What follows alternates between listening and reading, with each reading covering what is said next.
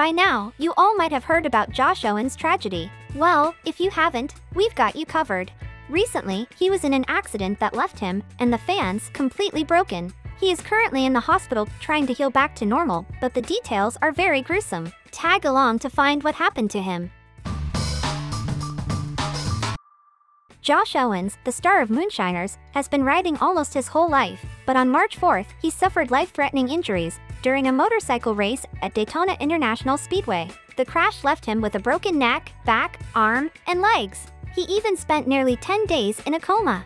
Josh, from his hospital bed, took to social media, giving us an update on his condition after that horrific accident. And let me tell you, the wounds were as crazy as the accident. In the video he posted, he zoomed on his leg, and it had about 50 staples holding his skin together and a scar that could tell stories. But Josh ain't giving up. He has that warrior spirit in him and said that he would bounce right back. After his accident, his Moonshiners co-star, Richard Landry, took to Instagram and said that, after talking to some people close to him, Josh was fine. He said, that's like a hangnail or something to Josh. He also requested everyone to pray for him, as he is not out of the woods yet.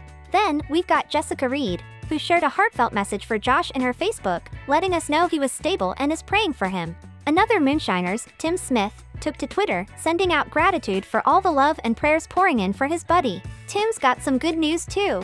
Apparently, both of Josh's arms are working just fine. So, you can bet he'll be back in the Moonshinin' game before you know it. However, although he was getting better, the hospital bill kept on adding, which made it difficult for Josh and his family. So, one of his friends started a GoFundMe to help with his hospital bills, as he didn't have any health insurance. Along with that, on August 25th, many people came out to Rocky Mount Smokehouse to show some love and support to Josh. It was a fundraiser event to help him with the bills while he is on his road to recovery. Josh's birthday was also celebrated at the event, and Josh summed it up best. I'm just an old county boy who happens to be on TV. I'm blessed by God to be given a second chance at life and the opportunity to leave a better legacy. The support is humbling and so appreciated.